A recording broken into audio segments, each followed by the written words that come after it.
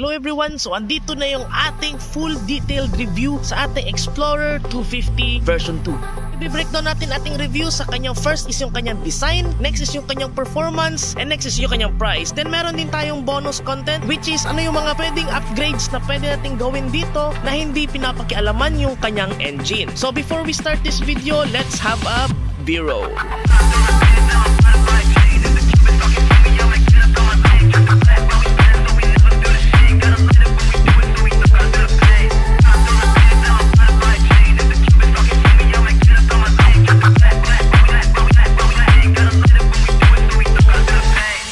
So yung unang first natin tingnan is yung kanyang design. Meron tayong tatlong colors nito which is ang red. Meron din tayong blue na para siyang Yamaha. Meron din tayong green which is apple green. Then meron din tayong black. So unique na unique lang yung kanyang green kasi wala masyadong apple green na makikita mo ngayon eh. Pinili ko naman yung red dahil mas sporty siya tingnan pag red. Kasi alam nyo naman yung red na yun.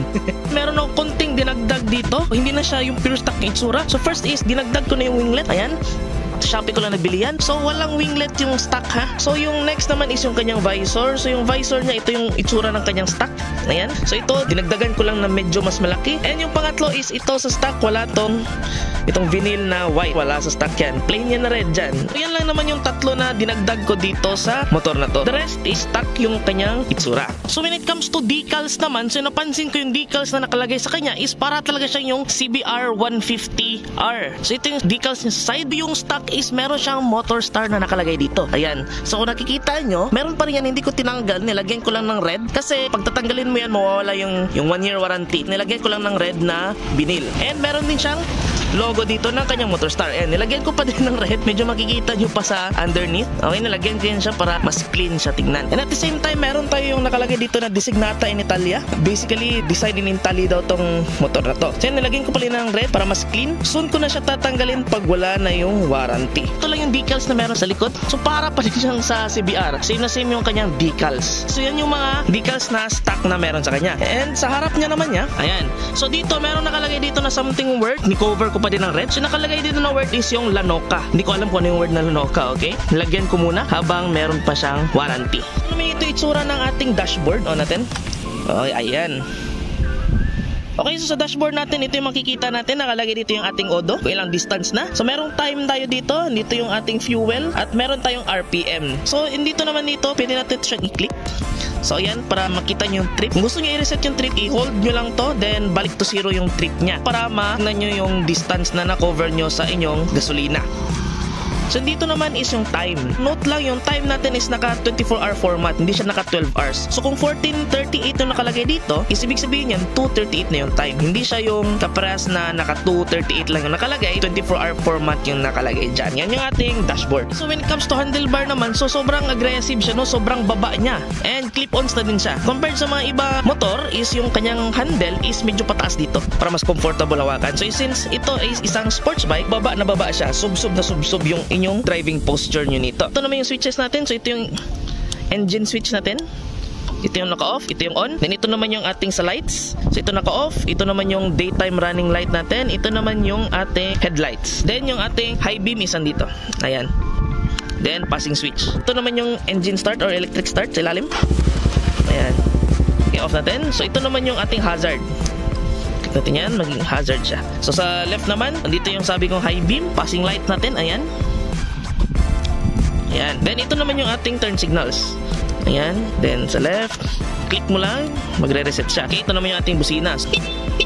Ayan, okay? Nasa inyo yan. Gusto nyo palakasan yung busina nyo, so medyo average lang yung kanya kalakas, yung kanyang busina. Isang feature naman itong Explorer 250 V2 na nakakaganda sa kanya is meron na siyang, ayan, so kung mag-charge ka ng phone, pwede dito, kunwari na sa long rides ka, palobat ka na, gamitin mo lang to, pwede mag-charge. Or kung may GoPro ka, action cam, malobat na, saksak mo dito, charge mo, ang ganda yan.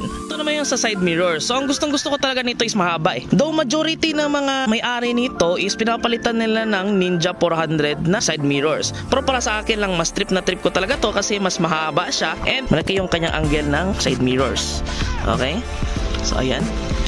Kitang-kita mo lahat. Then, ang gusto ko din, kanyang angle, pwede siyang ipahiga dito. Ayan. Okay? So, parang hindi siya masyado halata. Kasi yung ibang side mirrors kasi nakikita ko is parang nakapaharap siya dito yung kanyang angle. So, dito, dito nakalagay yung side mirror. Sa akin, gustong gusto ko tong ganito. Parang mas sporty siya tingnan. Ayan, ganyan. Kahit sa harap, tingnan mo, mas sporty siya pag ganito. Ayan headlight niya, sobrang gusto ko talaga yung kanyang headlight. Parang itsura ng panigali, no? Kung titingnan mo. So, ito naman yung kanyang daytime running light. So, yung daytime running light niya, meron siya parang eyeline sa itaas eh. Ayan. Ayan yung kanyang itsura. So, sobrang gandang-ganda ko niyan. Trip na trip ko yan gamitin. So, daytime running light yan. So, pwede niya yung gamitin kahit umaga. So, ito naman yung kanyang headlight. Ayan, para sa gabi, mag-on yung nasa gitna, yung dalawa. So, yan yung para sa headlight. Yung para sa high beam naman, ito naman. Ayan, yung sa high beam naman is iilaw lahat. Yung nasa gitna, yan yung kanyang headlight. Yung nasa high beam naman, yung nasa side, iilaw din yan. So, yan yung kanyang headlight. So, ito naman yung itsura ng kanyang tail light. So, gustong gusto ko tong ilaw dito sa side eh. Ayan. Tapos kung magbe-brake ka, iilaw yung sa gitna. So meron yan siyang mga lights dyan. So ito itsura. Yan, brake natin. Ayan, yan yung brake light niya. Yan, ang ganda eh. Note lahat ng light natin sa taillight at sa headlight. LED na yung kanyang ilaw so sobrang liwanag. So goods na goods yan. So ito naman yung itsura ng ating turn signal. Sobrang gusto ko kayo parang naka-form siya ng arrow eh. Tapos meron siya yung nagfo-flowing yung kanyang ilaw. So ito naman itsura ng ating signal light sa likod. So pa arrow pa din at meron pa din siya yung flowing. So actually sobrang lakas niyan. Pag gabi, sobrang lakas nitong mga signal light ito pati yung sa harap. Tis meron pa din siyang kickstart. Oh. Ayan. Okay? So kung confident ka naman sa iyong motor na hindi na siya papalya yung kanyang battery, pwede mo actually ito tatanggalin. Pwede mo idala sa kanyang bag just in case na lobat ka, then pwede mo ibalik yan on the spot. Nasa inyo yan. Okay, so yung sa exhaust naman, ito yung isa sa pinaka nagustuhan ko sa itsura tong motor na to. Kasi naka-carbon load din siya eh. Carbon na yung kanyang design. Para siyang acrophobic tingnan, pero stock yan, hindi yan sa aftermarket. At isa pa, naka, sobrang dali niya tanggalin. Just in case meron kang papalitan dito, tatanggalin mo lang to, papalitan mo siya, then you're good to go. Yung mga gusto naman mag-aftermarket niyan, meron naman siya adapter para pasok pa rin siya dito. So meron siya yung 51mm to 36mm, meron din 51mm to 42mm. So ito siya 36mm yung stock nito.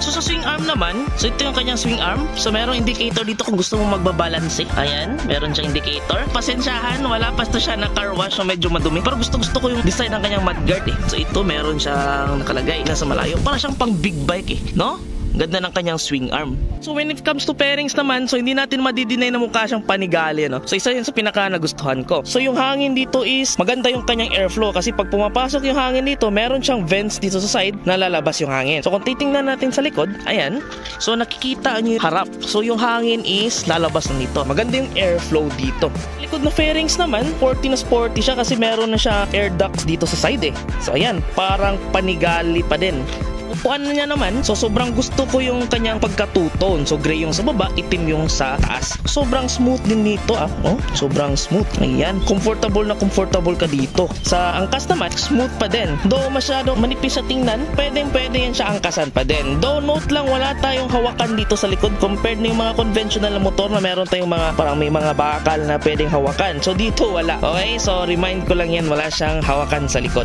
So ito meron siyang tank pad, stock din siya. Okay, yan yung sa ating tank. Parang big bike na big bike talaga siya tingnan eh. No? Ganda ni tingnan ng para sa kanyang gasolina. Ayan. Okay? Sports bike. Ang gandang ganda ng itsura. Foot pegs niya, so ito, sobrang solid na solid. Gustong gusto ko. So natutupi ito. Ayan, meron siyang lock. Pwede siya yan. Then ito naman sa kabila, yung foot peg ng sa shifter nyo. So ito yung hindi nyo nalalak. Okay, hanggang dyan lang yan siya. Isa pa nagustuhan ko is yung kanyang rear set. Sobrang kapal nito. Solid na solid, no? Ako lang, parang ayaw ko papalitan to. Sobrang solid talaga eh. Kung may papalitan akong design, ito na siguro. Baka papagandahin ko to ng lalo. Seat height naman nito is 795 mm mm yung kanyang seat height. So ipapakita ko sa inyo ngayon kung ano yung itsura ko as 5'7 yung height, kung ano yung itsura sa motor na to. Wheelbase naman is 1350 yung kanyang distance ditong dalawa. So before natin simulan ang topic ng ating performance, sound check muna tayo sa ating stock pipe. Ito yung sounds ng kanyang lang silencer.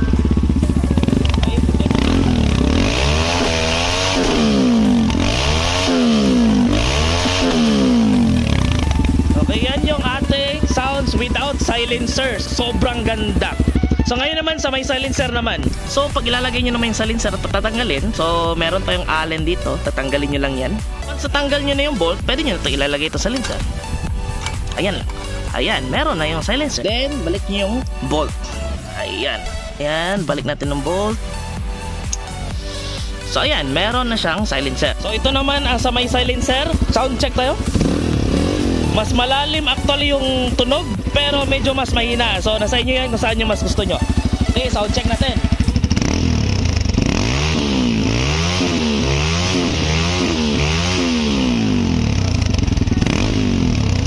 Okay, yan yung tunog ng naka-silencer. So ang tanong din, huhulihin ba to kung walang silencer? For safety purposes na lang din talaga at para walang huli, lagay nyo na lang yung silencer. So law naman talaga is dapat hindi lalampas ng 99 decibels yung inyong muffler. Tandaan nyo yan. Then yung 99 decibels naman is dapat nasa 2.5k RPM. Then 45 degrees. Hindi siya yung straight.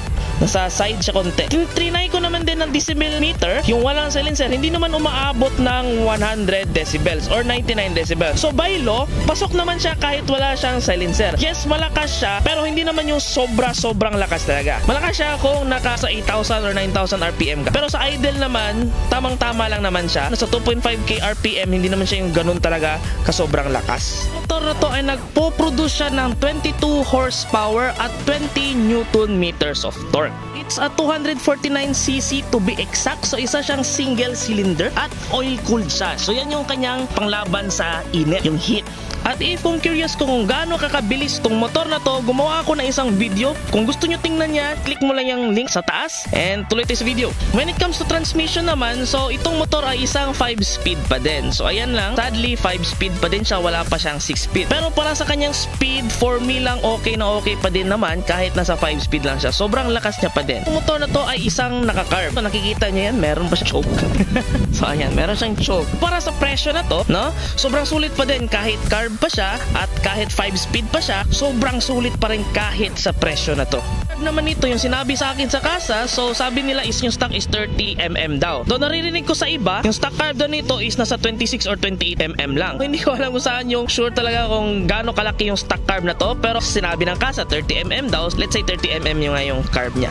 At since isa siyang carb at isa pa siyang 5 speed, so when it comes to gas consumption naman, so yung tangke niya, ang capacity nga pala nito is 14 liters. So sobrang laki. Liters pang long rides. Ang gas consumption naman nito, tinry ko siya for long rides. Ang kinuha ko around 30 kilometers per liter. Pero kung madisiplina ka naman sa throttle mo, merong iba nagsasabi na umaabot naman to ng 35 to 42 kilometers per liter. Kung madisiplina ka. Aside from long rides, tinry ko din siya na city driving at yung sobrang sagad na sagad ako. Sagad ako magpiga. Tuwing may nagre-request sa akin ng bomba, binobomba ko. So ayan, inabot ako ng 27 kilometers per liter. Yun yung sagad na sagad na. Tinry ko na yun ng sagad kung gaano talaga siya kalakas kumain ng gasolina. Aside sagad na piga, palagi pang traffic kasi nga city driving. So ayan, medyo mas malakas talaga. Maraming time na naka-idle lang ako sa sobrang traffic. Ayan, naka since yung idle kumukuha pa din niya ng gasolina. Brakes naman tayo. Sa front niya is naka dual piston caliper na to siya. Sobrang ganda. At yung kanyang disc brake niya is sobrang laki na. Naka-compensate niya yung kanyang power na 250cc. So sakto-sakto lang na malaki yung kanyang disc brake sa harap. At gustong gusto ko din yan. Sa rear brake naman, single piston caliper yung nakalagay dito. And yung disc brake niya, medyo mas maliit.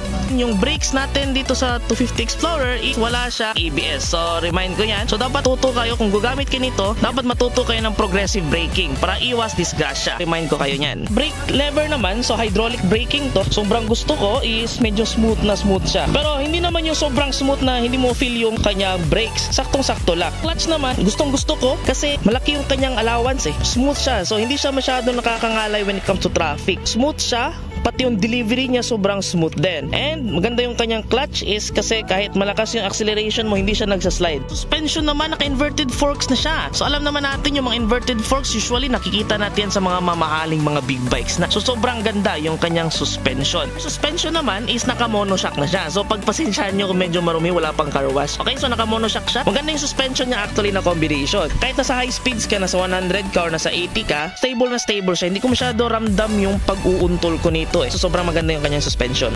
Sa gulong naman, so naka-mugs na to. So yung size naman sa harap ng kanyang gulong, naka CST brand na to siya. So size niya is 110 by 70 and 17. So yun yung size na sa harap niya. Likod naman, naka-mugs pa din. Tubeless na yung gulong niya sa harap at sa likod. So yung size naman nito sa likod is 140 by 70 and by 17. Okay, so yan yung size ng kanyang mga gulong. Pang big bike tingnan talaga yung gulong eh, malaki. So mas maganda to kung mapapalitan niya ng let's say Pirelli Diablo Rosso. So yan yung sa performance na ng ating 250 version 2. Okay, so anong upgrades bang pwede natin ilagay dito na hindi natin pinapakialaman yung kanyang engine? Paano lumakas yung ating motor lalo? Una niyan is yung kanyang sprocket. So 34 yung stock ng sprocket ito and yung sa engine niya naman is 13. So 13, 34 yung kanyang stock. So kung gusto niyo ng mas mataas na top speed, medyo palitin niyo to. Kung gusto niyo naman more acceleration, palakihin niyo naman to. Okay? Kung sa engine naman, baliktad. Kung gusto niyo ng more top speed, dagdagan niyo ng ngipin niyo sa engine. Kung gusto niyo ng more acceleration, paliitin niyo. Maganda kung timpla niyo yan. So usually nakita ko pinaka-ideal talaga na sprocket combination is 15 engine and 42 na rear sprocket. So yan lang. Pero i-remind ko kayo, kung gusto niyo ng mas matipid na fuel consumption, pag mas maliit yung inyong rear sprocket at mas malaki yung sa harap, pag more on top speed kayo, mas nakakatipid kayo ng gasolina niyan. Kasi maliit lang yung RPM nyo, mataas yung kanyang speed dahil sa sprocket combination. Yung second naman is yung kanyang CDI. So yung stock CDI niya, meron kasi siyang RPM limiter. So hindi siya basta-basta lalampas ng around 9,000 RPM. So parang masasagad siya doon. Kung papalitan niyo siya ng racing CDI, wala mawawala yung kanyang RPM limiter. So mas lalakas lalo yung inyong motor. Though, tatandaan nyo, stock is good. Kung gusto niyo na reliability talaga, mas magandang stock, uh, stick lang kayo sa stock. And next naman is yung kanyang ignition coil. So ignition coil is usually common siya na nagkakaroon ng issue yung stock eh. So usually yung pinapalitan ng ibang tao yung ignition coil niya na let's say na Faito ignition coil na 7,400, ang mangyayari niyan, mas malakas din yung inyong motor dahil mas malakas yung kanyang kurente na binibigay sa spark plug. Pag mas malakas yung kurente binibigay sa spark plug, mas malakas yung motor nyo. The next naman is yung spark plug din. So kung papalitan nyo yung spark plug nyo ng iridium, mas maganda yung iridium para yung nabibigay na mas malakas na kurente ng ignition coil, na provide din ng maayos ng spark plug. So para balance din siya. Okay? So yan yung purpose ng spark plug. Grades na pwede nyo ibigay na hindi papalitan yung engine, so yung kanyang carb. Basically yung carb na sa labas naman ng engine. So merong mga nagsasuggest kung malakas talaga yung dagdag ng bilis ng takbo ng motor nyo, papalitan yung carb. So meron sinasuggest na yung NIBI 30mm. Sobrang lakas ng dagdag ng power ng motor nyo pag nalagyan nyo ng 30mm na NIBI. Or kung mas malaki. Okay? So bakit ba nakakabilis yung carb? So yung carb naman yan yung nag-i-inhale ng hangin ng motor nyo. Then yung hangin, eh, yung gasolina na mixture para bumigay ng power sa motor nyo. Pag mas maraming hangin ang naa-absorb ng carb, which is kunwari 32mm, mas malaki yung hangin, mas makaka pwede nyo siyang itono na mas malakas yung kanya tagos ng gasolina sa carb para mas malakas yung mabibigay na power ng motor nyo. Pero suggestion ko lang, every time na mag-mods kayo, every time na meron kayong i-upgrade sa motor nyo, ipapatono nyo talaga ng maayos. Kasi kunwari nagpilit kayo ng ignition coil, nagpalit ng spark plug, RCDI, kung hindi nyo itutono ulit, nako, baka sasabog motor nyo. Okay, ingat lang. So, kung gusto nyo ng maximum reliability talaga, mas maganda talaga na stock is good. Okay? So, nasa inyo yan. Kung more power or more reliability. So, babalansahin lang natin yan. So, kanina pa ako nagsasabi na sulit na sulit to para sa kanyang price. Magkano ba to? Okay, depende sa inyong lugar. Sa amin dito, is umabot sa ng 84,000 lang. So, merong ibang lugar na umabot ng 88,000. Meron din sa iba na 79,000. So, sobrang sulit na sulit na siya. Ano naman sa mga installment ng motor na to, so pwede kayo mag-down lang nito ng 9,000. Kung 2 years to pay, around 4,300 lang yung babayaran nyo monthly. Sobrang sulit na sulit, sobrang mura na mura. Kung gusto nyo ng detailed talaga na table, kung magkano yung kanyang monthly for 6 months, 12 months, pwede kayo mag-inquire sa Motorstar at meron silang table niyan na pwede papakita sa inyo at makapag-decide kayo kung gaano katagal yung installment nyo. Okay, so sobrang sulit-sulit na talaga to siya para sa kanyang price na 79,000 lang. No, hindi naman perfect tong motor na to. Okay? So, 79,000 siya. So, yun nga sabi ko, meron din siya mga drawbacks. Hindi siya perfect. So, nasa 5 speed lang siya. Carburador pa din siya. So, yan yung isa sa mga drawbacks na makikita niya dito. Okay? So, wala din siyang ABS. Okay? So, note natin yan. Tatandaan natin yan. Baka para makapili tayo ng maayos kung anong gusto natin bilhin. And if curious ka if meron bang mga issues tong motor na to, so gumawa ako ng video, click nyo dito kung ano yung mga common issues na nakita ko sa motor na to para magkakaroon kayo ng idea. If interesado ka for more content, then don't forget to hit that subscribe button down below. Thank you for watching and ride safe!